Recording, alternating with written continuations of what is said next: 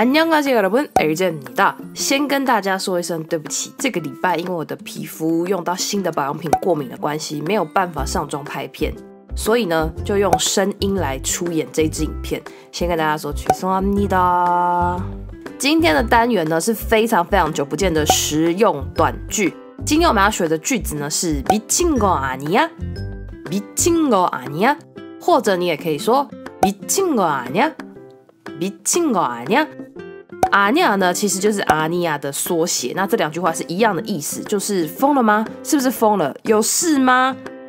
这句话可以用在你对自己或是别人的行为啊，或是言语感到非常的荒唐、不解或是荒谬的时候，就可以用这句话。在韩文当中呢，有时候会用阿尼达来强调状况。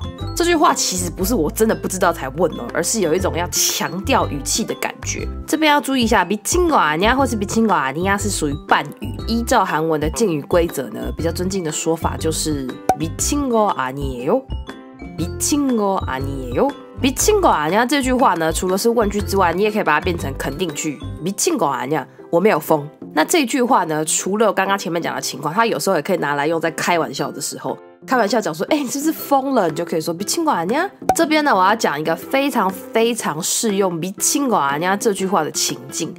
对于我们迷妹或是迷弟来说呢，每一年我们都在期待演唱会，对不对？讲到演唱会，大家真的最最最最最痛恨的是什么？就是黄牛跟黄牛票，我曾经看过那种一千八的票啊，直接喊价到一万八，这已经是十倍的价钱。甚至于那种摇滚区序号比较前面的，他可能可以喊价到三万、五万，甚至十几万的都有。真的要奉劝大家，我们大家上班赚的都是辛苦钱，没有人的钱是什么事都不用做就会进口袋的吧？既然我们赚的都是辛苦钱的话，为什么要把辛苦钱丢进黄牛的口袋里面呢？当然，有一些人他还是会去买黄牛票了，可能他真的很想要那个序号很前面的位置，然后他有钱可以去支出。我觉得如果是这样子的话，那就是个人意志的选择，我们不能去阻挡别人做这件事情。可是我还是要提醒大家，黄牛票本身就是违法的。既然它是违法的事情，我们为什么要助长这个违法的事情发生？然后这个犯法的人还可以逍遥法外，甚至拿到一笔钱呢？要抵制黄牛呢，黄牛才会消失。虽然要完全杜绝很难，可是如果我们大家都愿意一起努力的话呢，就可以减少黄牛的存在。어디아파얼굴이왜이래어제바나나많이먹어가지고응급실에갔어 바나나? 얼마나 먹었어? 10개 정도. 야, 너 미친 거 아니야? 왜 그렇게 많이 먹었어? 몸매 졌잖아. 아이고, 진짜 말도 안 돼. 그, 볶은 액자를 왜 많이 샀어? 그냥 좋아해서.